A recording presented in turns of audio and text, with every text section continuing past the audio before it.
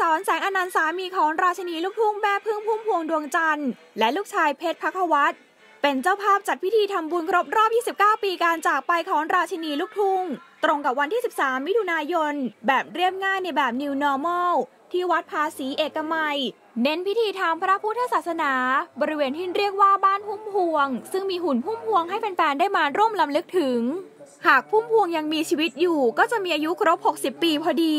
แม้ปีนี้จะไม่มีการจัดงานเนื่องจากโควิด แต่บรรดาเหล่าแฟนคลับก็มาร่วมงานกันเหนียวแน่น ไกรสอนขอบคุณแฟนคลับชาวไทยและในต่างประเทศที่ยังรักและรำลึกถึงพุ่มพวง ปีหน้าหากสถานการณ์โควิดดีขึ้น จะจัดงานคอนเสิร์ตใหญ่ครบรอบ 30 ปี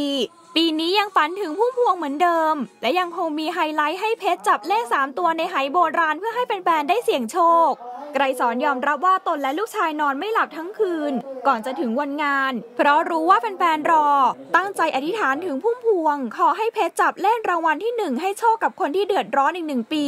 หลังเผชิญการระบาดโควิดยืดเยื้อมาเกือบ 2 ปี ด้านเพชรเชื่อว่าแม่พึ่งยังคอยปกป้องอยู่ พร้อมกับขอบคุณนักร้องทุกคนที่ร่วมกันร้องเพลงในคอนเสิร์ตออนไลน์รำลึกถึงแม่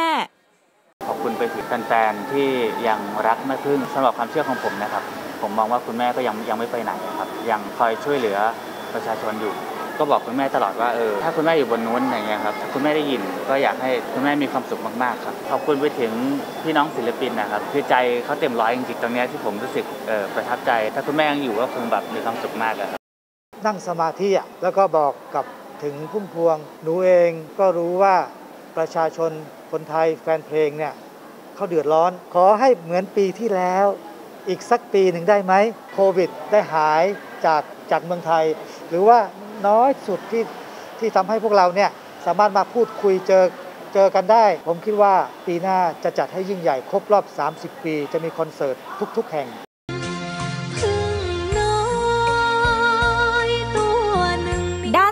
รไทย ปวลีพรพิมล ตรีชัยนรงค์ และเพชร นำทีมนักร้องขับขานบทเพลงอมตะของพุ่มพวง ในคอนเสิร์ตออนไลน์ 29 ปี ดวงจันทร์กลางดวงใจ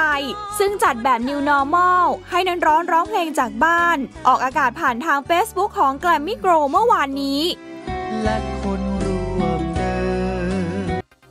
ขอบคุณที่ติดตามรับชม TNN ช่อง 16 นะคะ อย่าลืมกด subscribe และกดกระดิ่งกันด้วยนะคะ เรายังมีวิดีโออื่น ๆ ที่น่าสนใจอีกเพียบเลยค่ะ ถ้าท่านไม่อยากพลาดการติดตามข่าวสาร รวมถึงชมแบบสดๆนะคะ สามารถติดตามได้ที่ Facebook TNN Live รวมถึงช่องทางอื่นๆในการติดตามนะคะ เพียงแค่กดลิงก์ใต้วิดีโอข้างล่างนี้ละค่ะ